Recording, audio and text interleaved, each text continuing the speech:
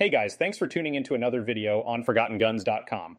I am Ian the Human, and I am here today on a UNSC base, which shall be unnamed for security purposes, taking a look at the classic UNSC pump action shotgun.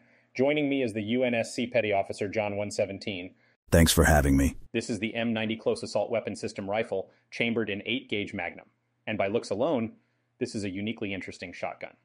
The M90 was a common close range battle implemented weapon in the service of the UNSC throughout the Human Covenant War. What started this was at the end of the war, the UNSC was in need of a good infantry rifle that was good for close quarter combat while also packing a punch. What ended up happening was Weapon System Technologies began a contract with the UNSC and started producing these shotguns.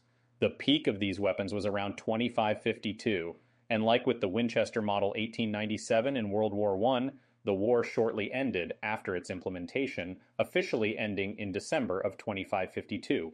I've personally loved the M90 during my deployment against Covenant forces. It was an all-around easy-to-use pump action. Getting back to the gun itself, the M90 resembles a beefier version of a Beretta M3 shotgun. However, one of the biggest differences between that and the M90 is the type and size of the ammo it takes, as the 8 gauge shell is moderately bigger than the 12 gauge commonly seen. Now, like the M3, the M90 works on a pump system for chambering and ejecting a round, but resembles a Keltec KSG in having a dual tubular internal magazine that can hold six round each, yielding a total of 12 plus 1 rounds.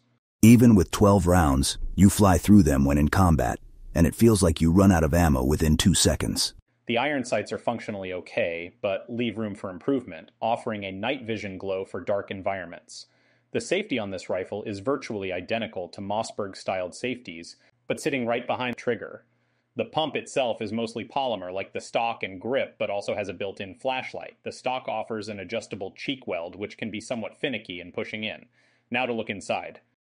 The frame is a titanium milled receiver with a reinforcement near the... What was that? Warning, base is under attack.